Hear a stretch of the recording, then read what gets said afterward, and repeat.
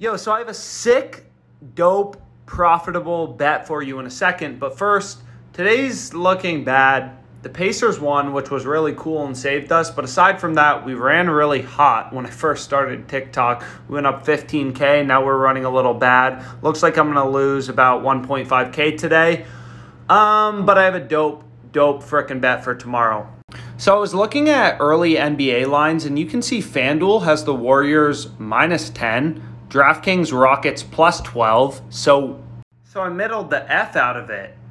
And the Warriors better better win by 11 points tomorrow.